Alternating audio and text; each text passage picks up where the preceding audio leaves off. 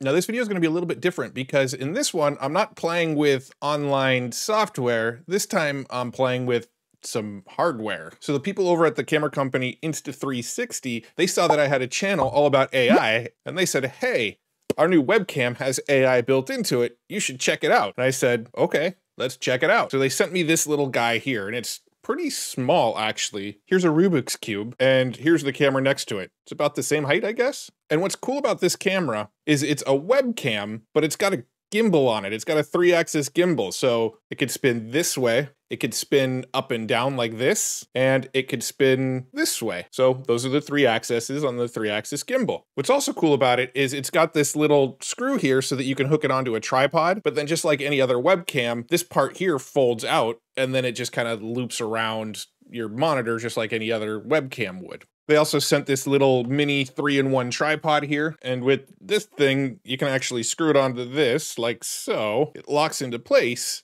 but then this also opens and becomes a little tripod that you can use. If you don't even want to put it on your monitor, you can just set it on a tripod and put it right on your desk. There's been a ton of videos that are doing reviews of this little camera here. If you look on YouTube, you'll probably find a hundred of them, and they all kind of compare them to different cameras, and I'm not going to do that in this video pretty much every review out there is going to tell you it's a really good camera and it's probably the best webcam on the market right now. What I want to talk about is the AI features. I'm an AI channel. I'm not a camera review channel. Let's take a peek at all of the cool AI stuff that this thing can do. Now, before I get into it, I do want to point out that this camera has a half inch sensor on it, which is great for a webcam. It should give us like a DSLR or mirrorless camera style video, and it can shoot in 4K. But again, it's the AI stuff that I'm really excited about. I'm gonna hook this thing up. We're gonna take a look at what the software looks like when you do hook it up, and we're gonna play with some of the features on it. Now, if this is is a camera that you're interested in, it does sell for about $299. So as far as webcams go, it's on the higher end. It probably has similar quality to this mirrorless Sony camera that I'm using for half the price. And it's got this gimbal with cool AI technology built into it. So let's go ahead and play around with it.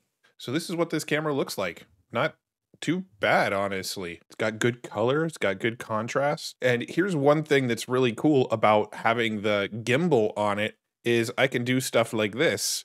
I can press a button here and it'll go boop and it'll show you what's going on in my hands. And I can just go, hello, look, it's me. It's a smiley face. I could draw stuff for you. My lights are reflecting off of it, so it's kind of hard to read. But I have like basically a top down camera now. I can go, go to future tools dot i o and then I could bring it back to myself and now here I am again.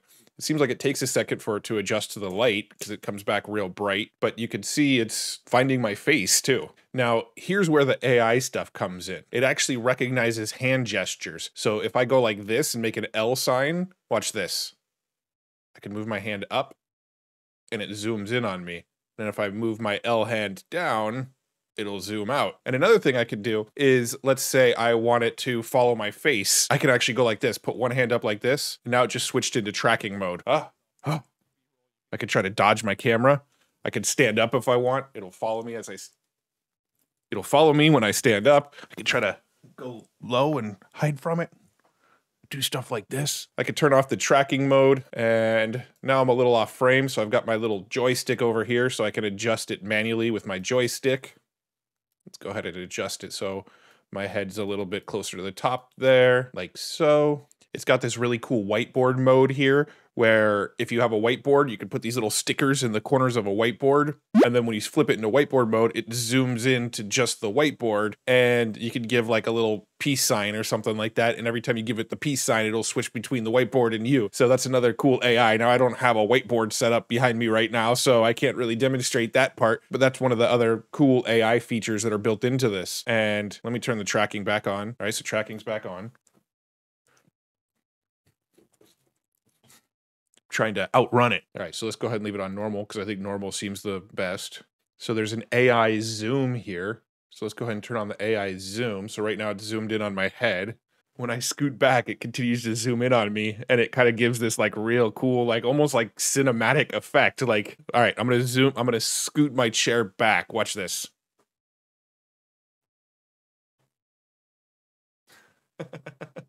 That's cool. It just continues to zoom in and make sure that my face is still there. So if I set on half body and then I zoom out, you could see it tries to keep it cropped from the waist up. Now what happens if I put it on whole body? If I zoom out, I can stand up now.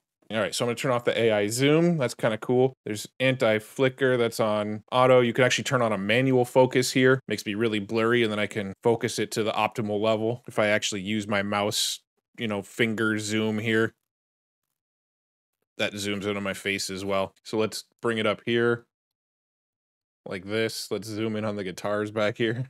Save this as a position, call it my guitars.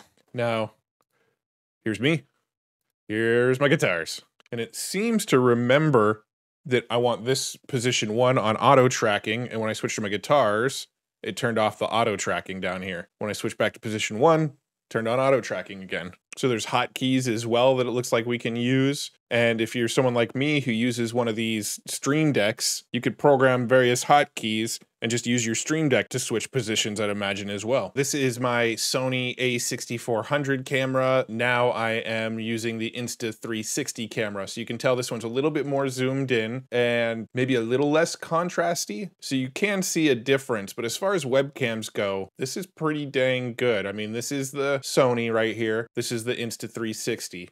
You can tell because it follows me around. And this is what it looks like when I have both cameras going at the same time. What's cool about this is you can see me on camera, but it also allows me to, you know, show off what's on my whatever is below me right here. So if I wanted to do product demos, then I could go, ooh, look at this. Look at how pretty this is. Yeah. How nice is that? Pretty cool stuff. I'll be using both of these cameras, combine them together. There's my crotch shot, and then there's my guitars. So one last thing I want to do here is take a quick peek at their website. This is the Insta360 link, so you can get a better view of what it looks like here. We got 4K resolution, AI tracking, we've got the gesture control, which I showed off. That's another thing I haven't really tested is how quickly the autofocus works. You can see it focuses in on that, but it also follows it around too when I move it around. So right now I'm looking over at my monitor monitor to make sure it's on camera, but it actually keeps it in frame for me. I really like this Insta360 camera. I can see using it for a lot of video stuff. I mean, especially the tracking. I can make some fun cinematic stuff using this. So there you go. There's my first ever look at a hardware tool instead of a software tool on this channel. I want to thank Insta360 for sending me this camera to play around with. It cost about 300 bucks if you want one yourself. I'd say the camera quality on it's pretty dang good. It definitely beats my Logitech Brio that I had before and definitely beats the Logitech C930 that I had before that. Not quite sure the camera quality is up to the same level as the Sony a6400 camera that I have here, but it's also half the price of that camera. So as far as webcams go, this is probably the best webcam I've used so far, honestly. I really like it a lot and I think it's pretty cool. And hey, if you like nerding out about all this cool AI and tech stuff like I do, make sure you check out futuretools.io. This is where I share all of the really cool tools that I come across. And if it's pretty overwhelming, you know, do a little search. Let's say you're a YouTuber, type in YouTube and see what kind of stuff comes up. There's 51 tools in here that are relevant and helpful to YouTube. If even searching the site is too much for you, join the free newsletter. Every single Friday, I'll send you my five favorite tools that I came across for the week, a handful of cool news articles, a handful of YouTube videos, and one cool way to make money with AI. And I send it every single Friday. It's basically the TLDR of the week. You can find all of that over at futuretools.io. Oh, thanks so much for tuning in. I really, really appreciate you. If you haven't already, make sure you like this channel and press the little subscribe button. That I'm sure you see a whole lot more AI videos inside of your feed and YouTube. And I appreciate you. Thanks for hanging out. I'll see you guys in the next video. Bye.